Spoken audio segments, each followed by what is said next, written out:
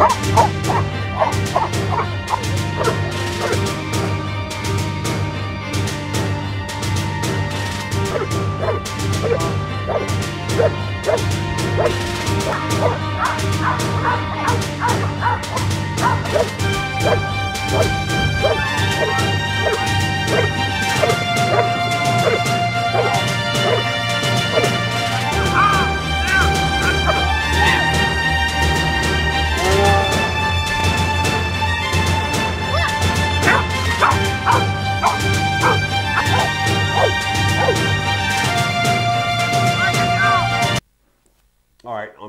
Four videos that I put up on YouTube, I was explaining, describing, showing our dogs, protection dogs, compared to the rest of the world.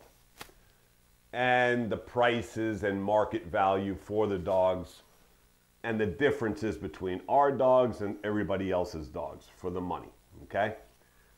So I've been harping on, at least for the last four videos, about dogs being sold for anywhere from, let's say, 50,000, because the industry goes generally 50,000, 65,000, 85,000, 100,000, 150,000, up to 150, okay?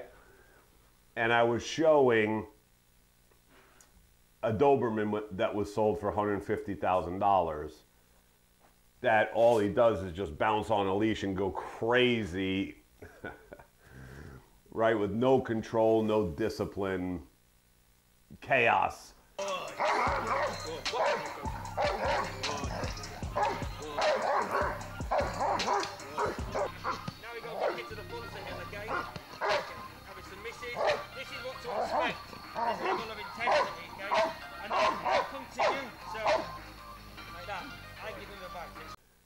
And is considered a fully trained elite protection dog, okay? And that's what the world is believing that that's what a protection dog is, and the dog was sold for $150,000, okay?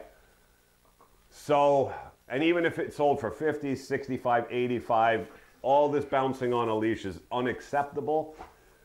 Again, it's beginner stuff, baby stuff, not a controlled protection dog, let's put it that way.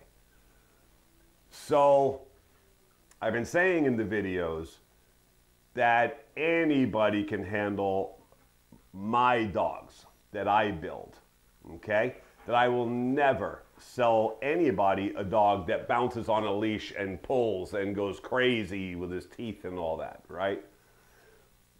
That to me is not a trained dog. Okay, so I will never sell that kind of dog. Not for 10,000, 15, 50, 70, 100, 150. Doesn't matter. It will never leave my facility being that way because that's an untrained dog to me. That's a day one beginner dog. So I was showing how controlled and disciplined our dogs are that anybody can handle them. Men, women, children. What you doing, little boy? That little doggy? That little doggy? What's that little boy doing?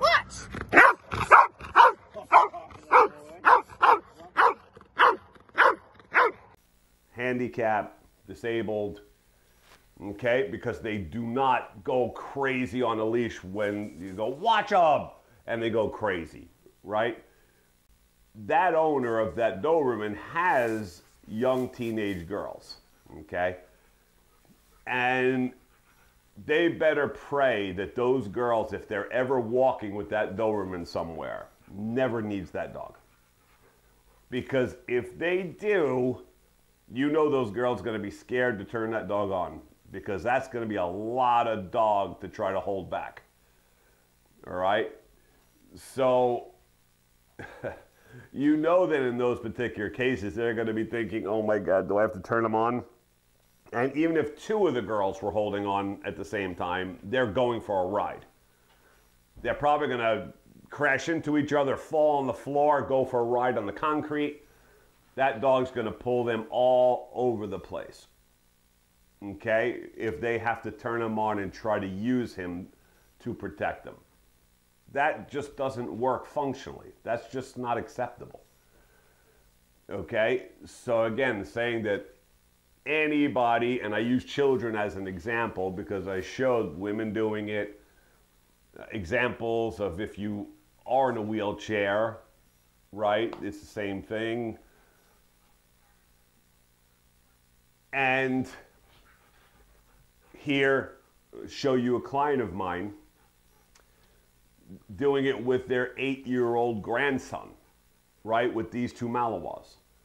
This is the way it's supposed to be, okay? So if the, the child is doing everything, he's giving the commands to these dogs, telling them to watch. When he does, they start barking and alert, stay with him. No chaos. The, the boy doesn't have to hold on to the dog and try to control it because that would never happen right? That would be a disaster. So the dog would pretty much be useless because there's no way that child would be able to hold a leash or anything with that dog if they turn them on. Okay? So here in these clips here, you'll see the boy just tell him watch, the dog starts barking at the person. What you doing, little boy? Is that your little doggy? Is that your little doggy? What? Oh, look, you fell down, didn't you? I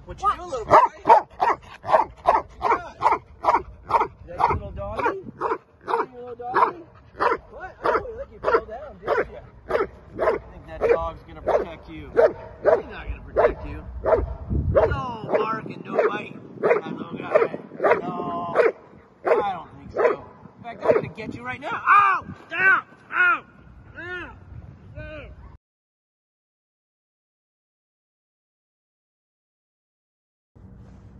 What's that little boy doing? What?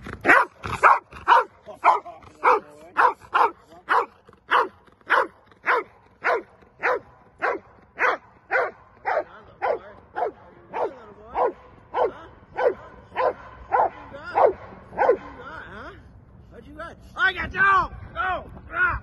Oh! Man! That's a fight! Oh! What?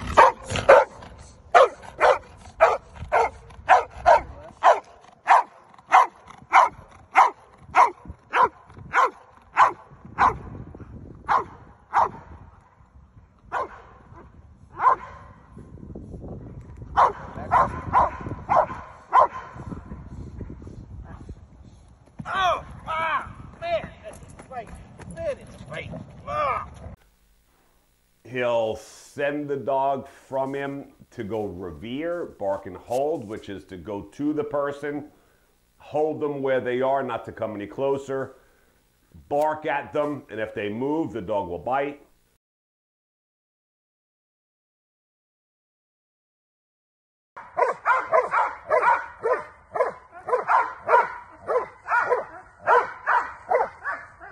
Okay.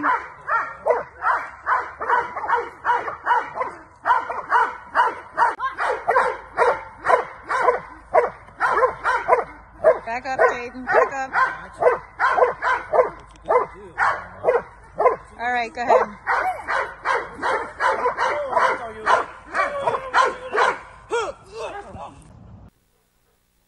He'll send the dog to attack instead of a bark and hold. The threat is a little too much, so now we're going to put an end to it, and the boy will send the dog to actually do an attack, okay, on command.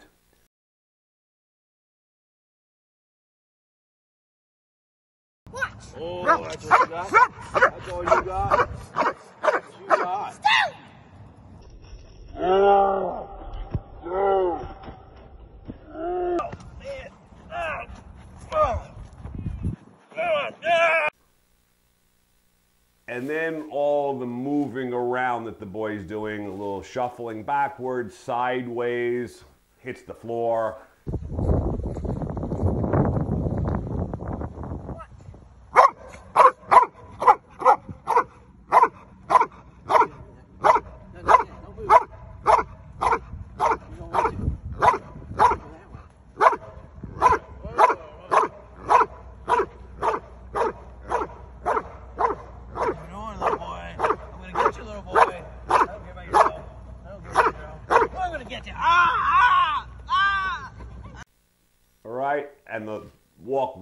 Backwards, the boy does, shuffling over to the side, scooting around, the dog stays with him. You know, and trying to explain to people because it's always been this thing "Ah, I don't need the dog to walk backwards, I don't need him to circle, I don't need him to stay with, right? Yeah, you do. You just don't understand it. But yes, you do.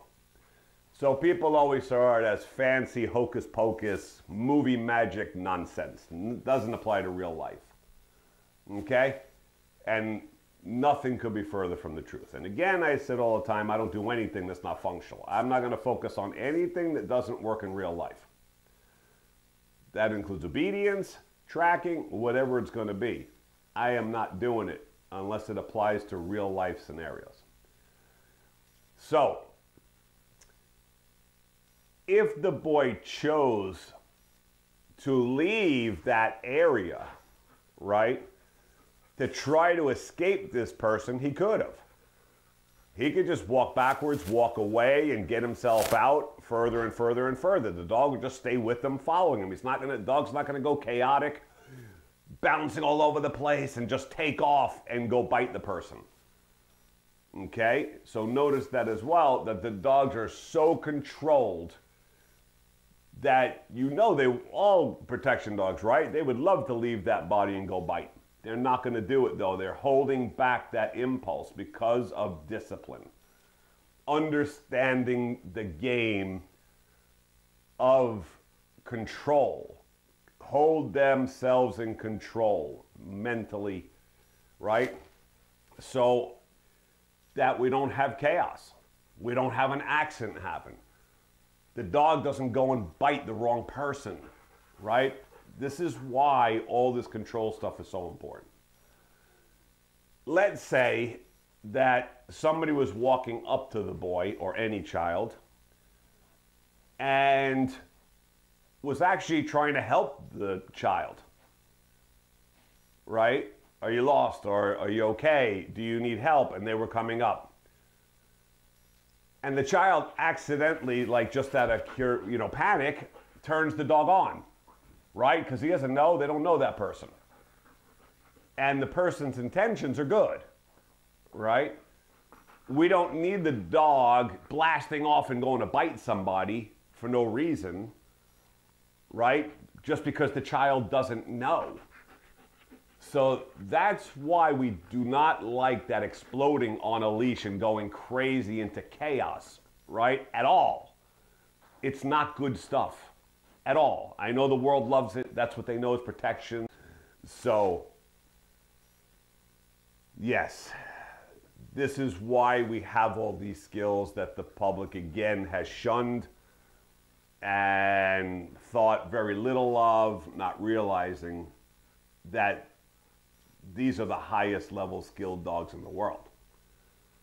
Right? And that again, anybody, including women, children, eight year old, could have been a six year old, five year old, handicapped person, disabled person, whatever it is, can control and handle our dogs.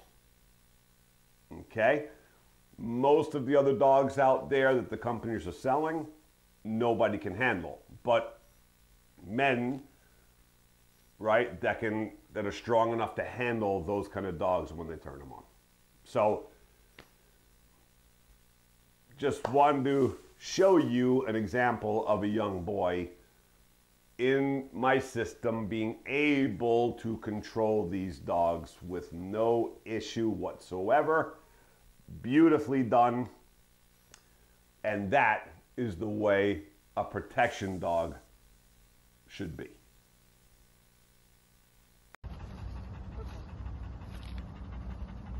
What you doing, little boy? That little doggy? That little doggy? What's that little boy doing? What?